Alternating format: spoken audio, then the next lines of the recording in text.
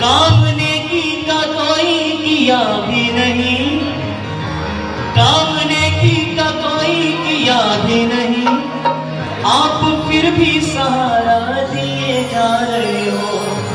आप फिर भी सहारा दिए जा रहे हो। नंदलाल सवरिया।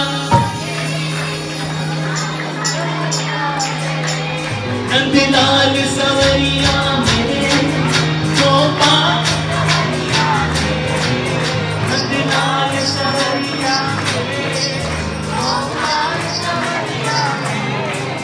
मैं वहाँ जा रहा हूँ बीच में ओके लेकिन तालियों की आवाज़ सबकी बराबर आनी चाहिए, ये मैं आपके बीच में आ रहा हूँ, आपका संकीर्तन करवाने के लिए आपको